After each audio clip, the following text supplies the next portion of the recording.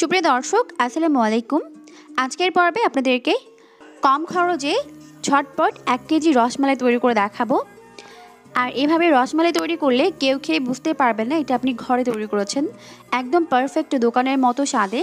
স্বাস্থ্যসম্মত উপায়ে আপনারা খুবই কম সময়ে, কম খরচে এটাকে বাসায় তৈরি করতে পারবেন। ভীষণই সফট তুলতুলে নরম আর খেতেও দারুণ মজার।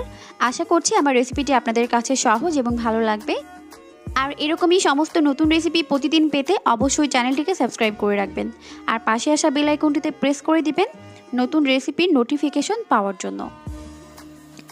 রসমালাই তৈরি করার জন্য প্রথমে চুলায় একটি প্যান বসিয়ে এর মধ্যে দিয়ে দিচ্ছি হাফ লিটার পরিমাণ লিকুইড মিল্ক আর এটা হচ্ছে গরুর তরল দুধ। তবে আপনারা চাইলে গুঁড়া দুধ দিয়ে রসমালাই তৈরি করতে পারেন। তার রেসিপি আমার চ্যানেলে অলরেডি দেওয়া আছে লিঙ্ক ডিসক্রিপশন বক্সে পেয়ে যাবেন। চাইলে দেখে নিতে পারেন। তো এখন এই দুধটিকে ভালো মতো জাল করে বলক উঠিয়ে নেব।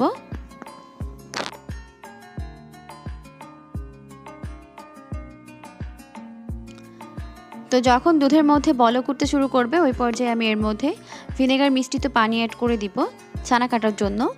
তো এখানে একটি বোলের মধ্যে দু চামচ নিয়েছি পানি আর দু চামচ ভিনেগার দিয়ে দিলাম। এখন এই দুধের মধ্যে ভিনেগার মিশ্রিত পানি দিয়ে দিব। আর এই দুধের মধ্যে যখন আপনি ভিনেগার মিশ্রিত পানি দিবেন, তখন অবশ্যই ভালো মতো শিওর হয়ে নেবেন, দুধটা যেন খুব বেশি গরম থাকে। যদি দুধটা অল্প গরম থাকে, সেক্ষেত্রে কিন্তু এটা ছানা না হয়ে চিজ হয়ে যাবে। তাই অবশ্যই দুধ ভালো মতো গরম করে এর মধ্যে ভিনেগার মিশ্রিত পানি অ্যাড করতে হবে। তো ভিনেগার মিশ্রিত পানি অ্যাড করার পর এক মিনিটের মধ্যে দেখা যাবে দুধটা ছানাতে পরিণত হয়ে গেছে। তো যখন দেখবেন ছানা আর পানি এইভাবে আলাদা হয়ে গেছে, তখন খুবই দ্রুত এটাকে চুলা থেকে নামিয়ে নিতে হবে। এটাকে কিন্তু বেশি সময় ধরে জাল করা যাবে না। বেশি সময় ধরে জাল করলে কিন্তু দেখা যাবে ছানাগুলো শক্ত হয়ে যাবে। সেক্ষেত্রে আপনার মিষ্টি পারফেক্ট হবে না। তো এখন এটাকে আমি চুলা থেকে নামিয়ে নিচ্ছি। তো এখন একটি মিক্সিং বোলের মধ্যে আমি একটি সাদা কাপড় বিছিয়ে নিচ্ছি। এরপর এর মধ্যে ছানা সহ পানিটিকে ঢেলে দিচ্ছে। আর অবশ্যই এখানে সাদা কাপড় নিতে হবে।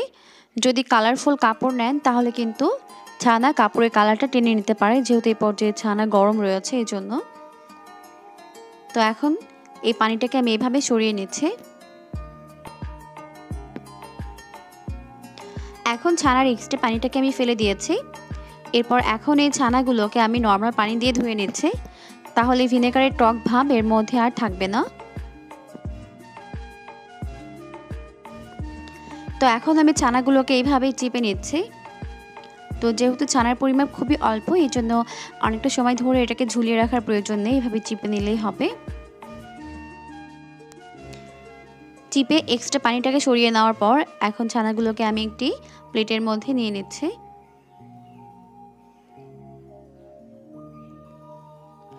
এখন ছানাগুলোকে খুবই সফট করে মথে নিতে হবে এইভাবে।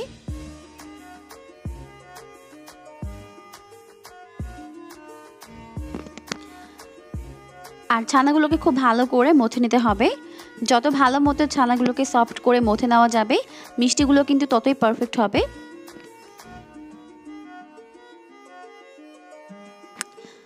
ছানাগুলোকে আমি খুব ভালো করে মথে নিয়েছি। এখন এখান থেকে অল্প অল্প করে ছানা নিয়ে এরপর রসমালাই শেপ দিয়ে নিব। আপনারা যতটা বড় বা মোটা সাইজের রসমালাই তৈরি করতে চান, ওভাবে নিয়ে নেবেন। তো আমি এই সাইজে তৈরি করে নিচ্ছি, এটা কিন্তু ফুল আরও দুই গুণ হয়ে যাবে। তো সবগুলো রসমালাই শেপ আমি সেমভাবেই তৈরি করে নিয়েছি। আমার হাফ লিটার লিকুইড মিল্ক দিয়ে অনেকগুলো রসমালাই শেপ হয়েছে, দেখতেই পাচ্ছেন। এখন চলে যাচ্ছি রসমালাইয়ের শিরা তৈরি করে নেওয়ার জন্য। শিরা তৈরির জন্য চুলায় একটি প্যান বসিয়ে দিয়েছি। এখন এর মধ্যে দিয়ে দিচ্ছি হাফ কাপ পরিমাণ চিনি। হাফ কাপ চিনির জন্য এখানে অ্যাড করে দিচ্ছি আড়াই কাপ পরিমাণ পানি।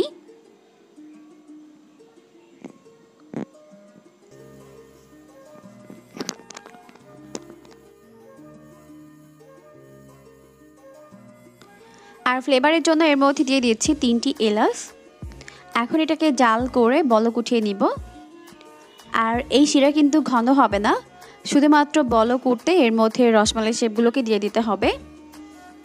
তো যখন এর মধ্যে এরকম বলক উঠে আসবে, তখন এর মধ্যে রসমালাই শেপগুলোকে দিয়ে দিচ্ছি। রসমালাই শেপগুলোকে শিরার মধ্যে দেওয়া হয়ে গেলে, এখন ঢাকনা লাগিয়ে এটাকে পাঁচ মিনিট জাল করব। আর এই পাঁচ মিনিটের মধ্যে কিন্তু ঢাকনা খোলা যাবে না। আর এখন পাঁচ মিনিট পর দেখুন, রসমালাই শেপগুলো কতটা ফুলে গেছে দেখতে পাচ্ছেন। আর এটা কিন্তু এই পর্যায়ে খুবই নরম থাকে, তাই এটাকে আলতোভাবে এভাবে নাড়াচাড়া করে দিতে হবে। আমি এইভাবে হাতলটাকে ধরে একটু ঘুরিয়ে দিচ্ছি। এরপর এখন এটাকে চুলা থেকে নামিয়ে ঠান্ডা হওয়ার জন্য রেখে দিচ্ছে। এখন রসমালাইয়ের জন্য মালাই তৈরি করে নিব। এই জন্য চুলায় আরও একটি প্যান বসিয়ে এর মধ্যে দিয়ে দিচ্ছি হাফ লিটার পরিমাণ লিকুইড মিল্ক। এখন এই দুধটিকে ভালো মতো জাল করে বলক উঠিয়ে নিব।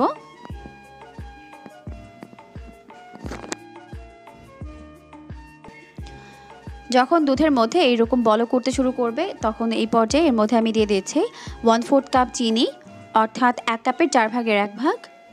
আর দিয়ে দিচ্ছি তিনটি এলাচ। এলাচগুলোকে একটু ফাটিয়ে দিয়েছি, তাহলে ফ্লেভারটি ভালো মতো ছড়িয়ে যাবে। এরপর এর মধ্যে দিয়ে দিচ্ছি one fourth cup condensed milk condensed milk আমি এখানে মিষ্টির পরিবর্তে এবং স্বাদটাকে একটু বাড়াতে ব্যবহার করেছি। আর কন্ডেন্স মিল্ক দিলে মালাইটা অনেকটা বেশি ঘন হয়, তবে আপনারা চাইলে এটাকে বাদ দিতে পারেন। শুধুমাত্র চিনি ব্যবহার করতে পারেন। সেক্ষেত্রে হাফ কাপ চিনি এখানে ব্যবহার করবেন। এখন খুব ভালো মতো এগুলোকে মিক্স করে নিচ্ছি।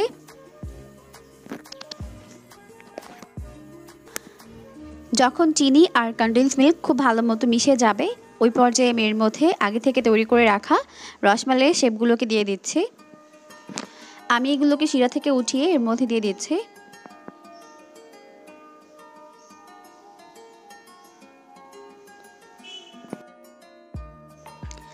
এরপর রসমালাই শেপগুলোকে খুব ভালো মতো এভাবে একটু মিক্স করে নিয়েছি। এবার এটাকে দু থেকে তিন মিনিটের মতো জাল করে এই দুধটাকে একটু ঘন করে নিব। দু তিন মিনিট পরে দেখা যাবে এরকম ঘন হয়ে গেছে এটা, তখন এটাকে চুলা থেকে নামিয়ে নিতে হবে। চুলা থেকে নামিয়ে এখন এটাকে আমি একটি বোলের মধ্যে সার্ভ করে নিচ্ছি। ব্যাস, তৈরি হয়ে গেল খুবই কম খরচে এক কেজি রসমালাই। আর এইভাবে রসমালাই তৈরি করলে কেউ খেয়ে বুঝতেই পারবে না, এটা আপনি ঘরে তৈরি করেছেন। খেতে ভীষণ মজার হয়, একেবারে দোকানের মতো। এখন একটি রসমালাই আপনাদেরকে কেটে দেখাচ্ছি কতটা সফট হয়েছে। তো এভাবে কিন্তু আপনারা খুবই কম খরচে বাজার থেকে না কিনে স্বাস্থ্যসম্মত উপায়ে বাসায় আপনারা রসমালাই তৈরি করতে পারবেন। আশা করছি আমার রেসিপিটি আপনাদের কাছে ভালো লেগেছে। আর ভালো লাগলে অবশ্যই লাইক কমেন্টস এবং শেয়ার করবেন।